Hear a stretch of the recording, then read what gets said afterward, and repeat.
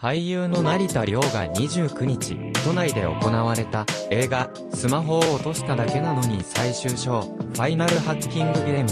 11月1日公開の完成披露試写会に登場した。イ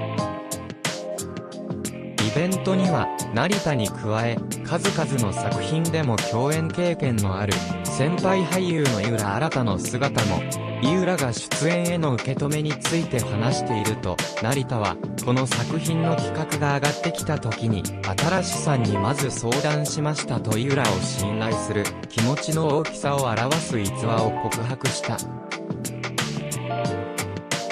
その会話は、居酒屋の一室で行われたといい、井浦も、それがね、すごく嬉しかったんです。すごく可愛らしくて、その作品に、自分も付き合いたいなって、そう思いましたと振り返り、俳優という道を歩む同志だからこそ生まれる、熱いトークを展開した。